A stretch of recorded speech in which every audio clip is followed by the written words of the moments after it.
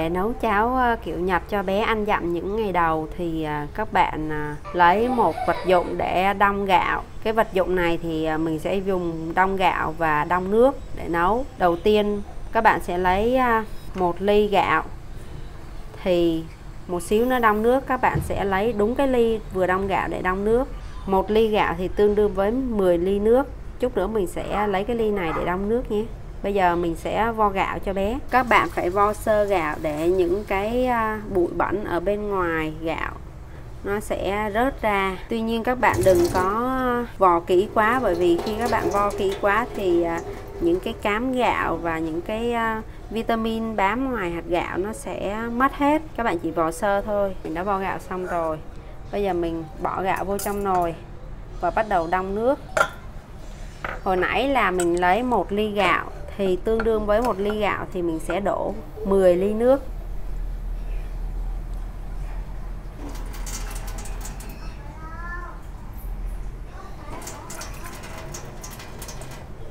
Rồi sau đó mình sẽ bắt nồi lên trên bếp.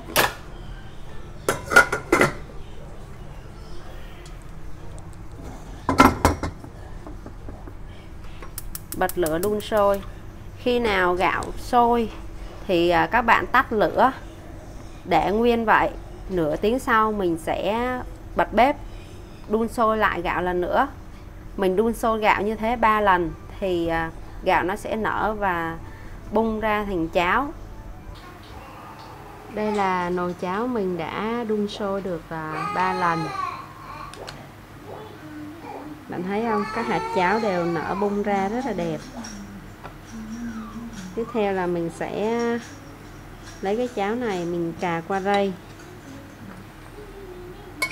Mình đổ vào rây mình cà cho bé.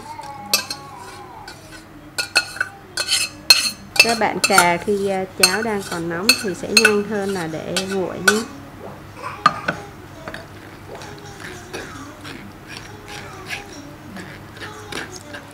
Khi cà thì các bạn nên chọn thìa nào nó tù ở phía đầu á, thì nó sẽ dễ cà hơn cà nhanh hơn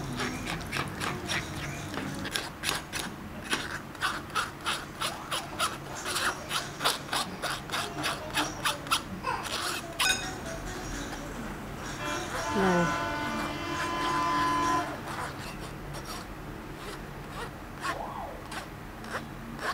rồi cháo mình đã càng xong rồi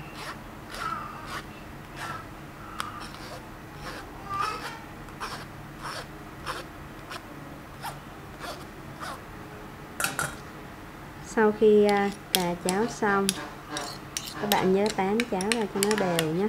Tại vì hồi nãy cà thì nước nó rơi xuống trước, còn cái à, bột cháo à, sau khi cà thì nó lại đặc nó đậm lại, nó rơi sau. Cho nên là sau khi cà các bạn nhớ tán cháo ra cho nó đều.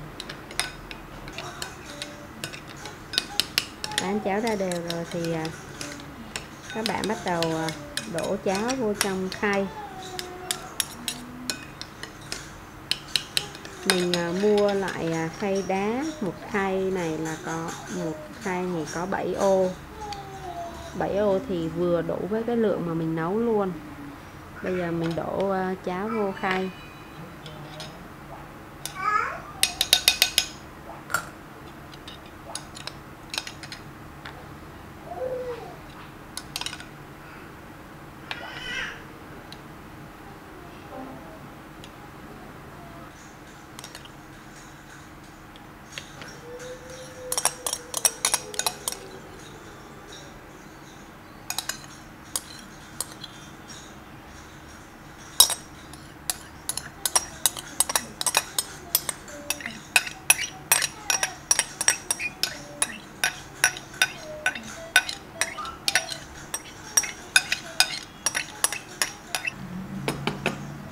rồi các bạn thổ nhẹ cho khay cháo nó đều rồi đậy nắp bỏ vào tủ lạnh.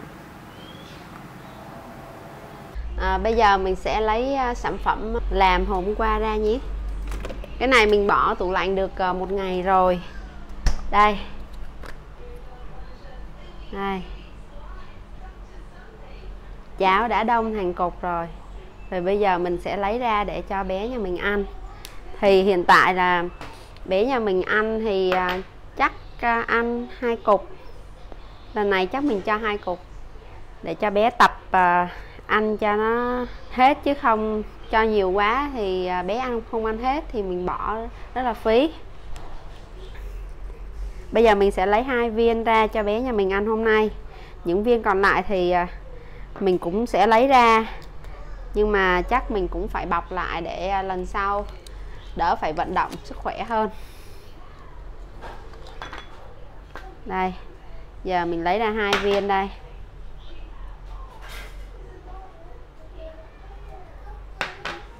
Còn những viên còn lại thì à, mình sẽ bọc màng bọc lại, bỏ vô trong cái hộp.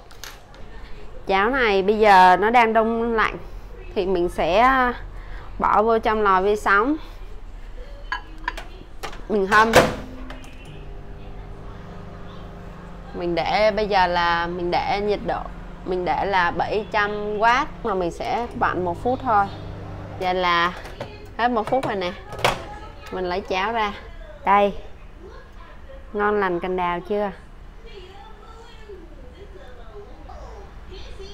Cháo mịn nè. Giờ thì chỉ cần để nguội rồi à, cho bé ăn thôi. Mẹ gấu vừa chia sẻ cho các mẹ cách nấu cháo trắng kiểu nhật.